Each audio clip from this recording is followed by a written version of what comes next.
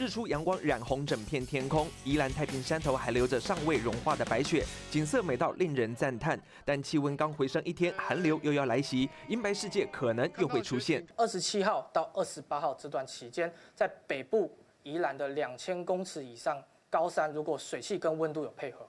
是有机会有降雪的可能。新一波寒流二十七号再度南下，二十八号、二十九号是影响最明显的时候。中部以北低温下探八到九度，其他地区十到十一度，沿海空旷地区有机会出现六到七度的低温。最低温的时间点大概是落在二十八号的清晨跟二十九号的清晨，也预估温度最低温中部以北。宜兰大约是八到九度。气象局预测，周日到下周三，在干空气的影响之下，各地晴朗稳定，但是夜间强辐射冷却加持，日夜温差很大。下周一、二清晨，平地最低温仍然在八度左右，民众一定要做好保暖，千万不能大意。记者陈时炼、林医生、王一仲，台北宜兰报道。旺旺水神抗菌液，它的成分呢是维酸性电解次氯酸水，它呢跟病毒作用还原之后呢，它是还原成水的。所以对人体，包含孕妇、对儿童都没有影响。重要的是，它一天用上好几千次、好几百次都没有问题哦。很好奇在哪里买吧？直接上快点购。